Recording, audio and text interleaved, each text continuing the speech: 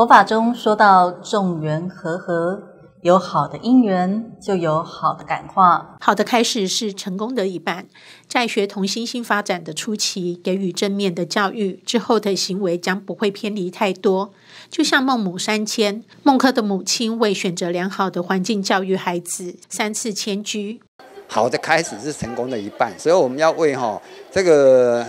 这一个哈，这个成长的一个哈，这个宝宝啦或青少年哦，帮他哈具足一个比较哈良好的姻缘。所谓的孟母三迁，他也是在帮哈他这个一个心性还没有还没稳定的一个这个青少年哈，找一个一个哈很好的一个环境。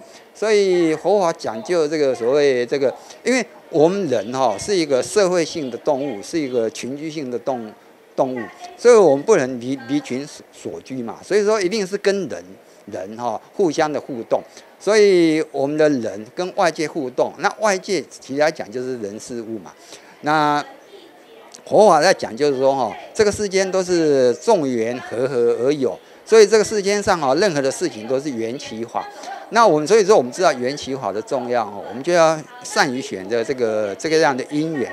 有好的因缘，我们自然这个心情就受到哦感化，受到影响。那我们慢慢的这个成长就会怎么样？就会自然哦，你有光明出来，这个黑暗就远离了嘛。所以我相信哈。